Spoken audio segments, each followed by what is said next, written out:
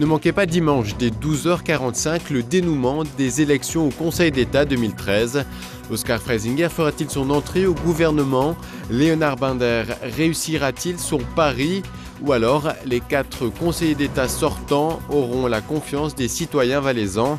Pour répondre à toutes ces questions, Canal 9 vous propose une émission en direct de la brasserie du Grand Pont à Sion avec des consultants, des présidents de partis et évidemment les six candidats qui briguent les cinq places de ministres.